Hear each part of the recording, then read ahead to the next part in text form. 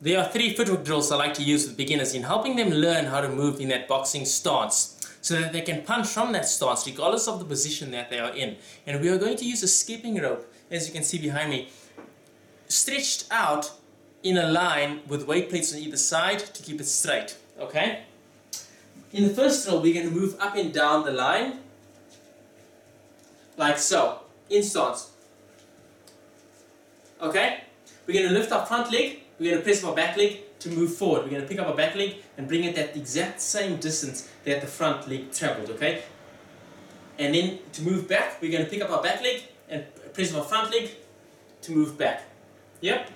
A big mistake that beginners will make is that they'll travel forward with their front leg and then bring their back leg much too close to their front leg. This ruins our stance. As I said, we want to maintain our stance. We can't punch from this position okay? Regardless of the position that I'm in, okay?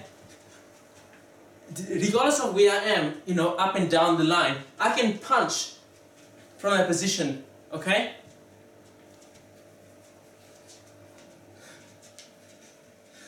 Another mistake, people will pick their front leg up and they'll step over like so, okay? All you're just doing is raising your leg up slightly. Then you can just glide across like that. and should be fast. Okay? Small lift and press.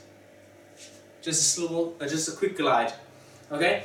Keep your hands up during these drills to help us keep our hands up and get ready to punch. Okay, that's our guard. That's also just to keep our hands up ready to punch. Yeah? Moving on to the lateral step drill. With the lateral step drill, we're going to place one leg close beside the line. In stance, we're going to lift that leg up we're going to press it off the other leg and the other leg will land directly close to the line as well. Just like that. Okay? Maintain your stance. Just because we're stepping laterally, it doesn't mean that we can't maintain our position. Okay? A big mistake that beginners will make is they'll press off, they'll when they go over to the other side, they'll land too far away from the line. Okay? even a small amount will make it extremely difficult to step back over to the other side of the line. And then you'll find that you know you, you're ruining your stance when you land. Okay? Keep it close beside. Move to the other side. Keep it close. You see? Simple. Okay? This brings us to our final drill.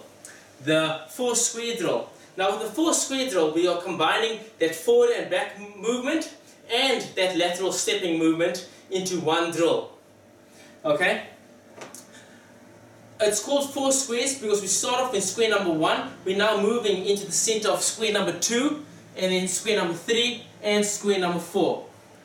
Okay? Square number two is directly in front of square number one, and three is directly across of square number two. Okay? Four, three, two, three, two, one. Yeah? A big mistake that people will make is that when they are stepping across into the square, like square number 3 from square number 2 for example, is that they'll deviate and they won't hold to their squares. Okay? So they'll step into what is somewhere between square number 3 and square number 4. And this completely ruins the purpose of the drill because they're now completely out of alignment and they're completely out of position. Okay?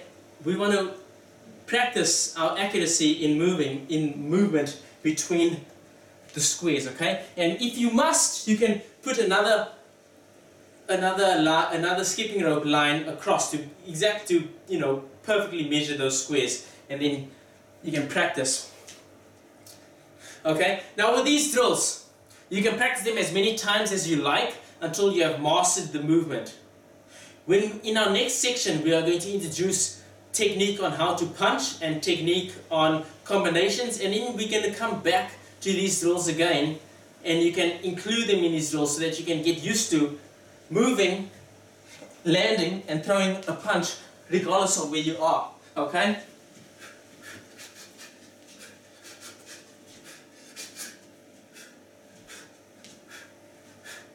Cool. I'll see you guys in the next section.